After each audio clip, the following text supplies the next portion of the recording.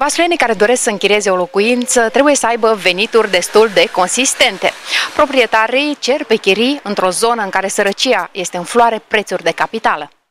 Piața închirierilor ar fi una destul de activă dacă proprietarii ar ține cont de condițiile socioeconomice. Mulți din cei care închiriază cer însă prețuri exorbitante.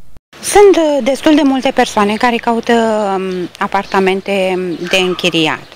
Ideea este că proprietarii uh, s-au obișnuit cu niște prețuri foarte mari. Vremea acelor prețuri au, a trecut și pentru acele niște prețuri foarte mari trebuie să oferi și condiții pe măsură. În actualele condiții, o garsonieră perfect mobilată nu ar trebui să fie închiriată cu mai mult de 400 de lei. De exemplu, la o garsonieră mobilată și utilată mai mult de 400 de lei sau, mă rog, 100 de euro, nu ar avea de ce să fie. Iar la două, da, iar la două camere, poate 500 de lei, haide să spunem 600 dacă este ceva extraordinar. Un reviriment pe piața chiriilor s-ar putea simți în toamnă când o parte din elevii de liceu vor căuta să-și închirieze o locuință în cazul în care nu-și găsesc locuri în cămine.